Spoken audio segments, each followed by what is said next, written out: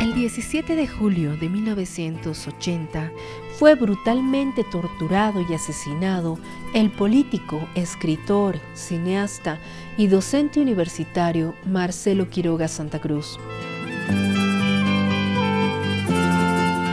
Marcelo Quiroga Santa Cruz es recordado por su labor como parlamentario de la República fundador del Partido Socialista I y luchador incansable en defensa de los recursos naturales. En 1969, como ministro de Minas y Petróleo, impulsó la nacionalización de la Gulf Oil Company.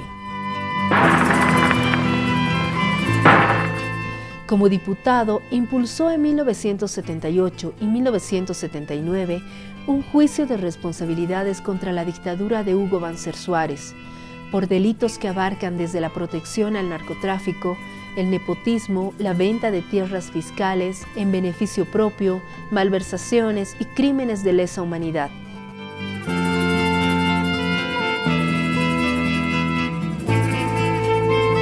El 17 de julio de 1980 se produjo el sangriento golpe de Estado protagonizado por Luis García Mesa Tejada y Luis Arce Gómez, durante el asalto a la central obrera boliviana, Marcelo Quiroga Santa Cruz cae gravemente herido por una ráfaga de metralla.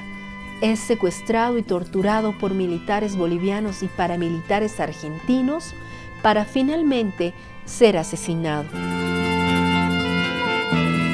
Sus restos continúan desaparecidos hasta la actualidad, engrosando la lista de víctimas de las dictaduras producidas en Latinoamérica.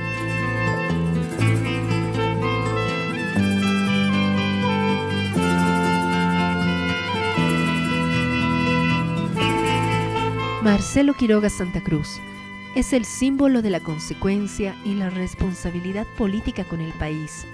Es un hombre que le entregó su vida a la democracia boliviana. Se cobrarán esto que estamos haciendo. Estamos dispuestos a pagar ese precio. Siempre estuvimos dispuestos. Jamás vamos a rehuir el peligro. Porque mucho más temible que ese enemigo que está buscando la manera de anularnos aún físicamente es una conciencia culpable y no podríamos soportarnos a nosotros mismos si no cumpliéramos nuestro deber.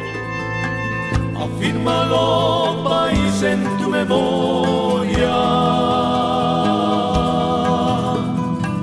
Ahora que se ha dormido en tu semilla,